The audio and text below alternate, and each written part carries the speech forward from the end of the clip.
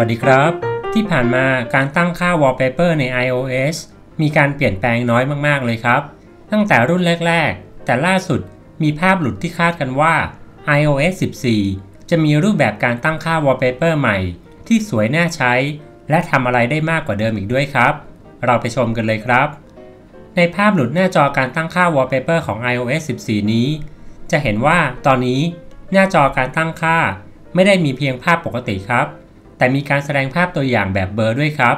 พร้อมตัวเลือก Home Screen Appearance ที่ทำให้เราสามารถเลือกรูปแบบการแสดงภาพพื้นหลัง ได้ถึง 4 แบบเลยครับ โดยสามารถแตะเลือกได้จากด้านล่าง โดยมีแบบมืด แบบเรียบ แบบเบอร์ และแบบปกติ คล้ายๆกับที่มีอยู่ใน Apple Watch ครับ โดยจะแสดงรายการที่เราเลือกให้เห็นบนหน้าจอเลยครับ ไม่เพียงเท่านั้น จากเดิมเวลาที่เราเลือกภาพ ภาพทั้งหมดจะแสดงเรียงต่อกันไปทั้งหมดเลยครับ แต่ตอนนี้มีการแบ่งเป็นคอลเลกชันเป็นหมวดหมู่ แยกประเภทของภาพที่ชัดเจนขึ้นด้วยครับทำให้การเลือกภาพง่ายยิ่งขึ้น และยังมีการเพิ่มรายการ Photos พร้อมเครื่องหมายบวกที่ให้เราเพิ่มภาพใหม่ และอาจจะแสดงรายการภาพที่เราเพิ่มเข้ามาให้เลือกใช้ง่ายๆครับ คล้ายๆ กับการเลือกภาพปก Facebook ที่มีรายการภาพก่อนหน้าที่เราเคยใช้ เพื่อให้เราเลือกใช้ได้ใหม่อีกครั้งนั่นเองครับ แต่ในหน้าจอนี้มีจุดที่น่าสังเกตครับ ว่าไอคอนแสดงภาพแบบพิเศษ ที่จะสลับอัตโนมัติ เวลาที่เราเลือกโหมดสว่างกับโหมดมืด ที่ Apple ย้ายตำแหน่งไปอยู่ตรงกลางใน iOS 13.4 แต่จากภาพหลุดของ iOS 14 นี้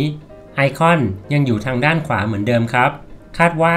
ภาพที่หลุดออกมานี้ อาจจะเป็นเวอร์ชันทดสอบเวอร์ชันต้นๆ ตอนถึงเวอร์ชันจริง เราอาจจะได้เห็นหน้าตาที่มีการปรับเปลี่ยนไปจากที่เห็นตอนนี้อีกหลาย ๆ ส่วนเลยครับ ตอนนี้ยังไม่มีข้อมูลว่า iOS 14 จะมาเมื่อไหร่นะครับ แต่ตามปกติในหลายๆ ปีที่ผ่านมา iOS เวอร์ชันใหม่ของแต่ละปี จะเปิดให้ดาวน์โหลดและทดสอบประสิทธิภาพประมาณเดือนมิถุนายนครับ และปล่อยเวอร์ชันเต็มตอนช่วงปลายปี ซึ่งนอกเหนือจากฟีเจอร์ใหม่ๆ น่าใช้ที่หลุดออกมาให้เห็นแบบนี้ สิ่งที่อยากให้ Apple ปรับปรุงเพิ่มเติมอีกหน่อย รับรองว่าได้ใจแฟนๆ ครับ นั่นคือการใช้แบตเตอรี่น้อยลง และการแก้ไขปัญหาเรื่องเครื่องร้อนง่าย ที่เพื่อนๆหลายคนตอนนี้เจอ จะดีเยี่ยมไปเลยครับ